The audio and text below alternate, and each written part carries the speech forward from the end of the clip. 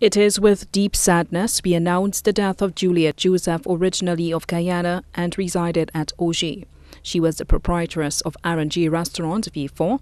She passed away on Wednesday, 26 October 2016 at 1.35 p.m. at Victoria Hospital. She was 50 years old. The funeral service of the late Juliet Joseph, originally of Guyana, who resided at Augier, will be held on Friday, 11 November 2016 at 3 p.m. at the St. Francis Xavier Catholic Church in Augier.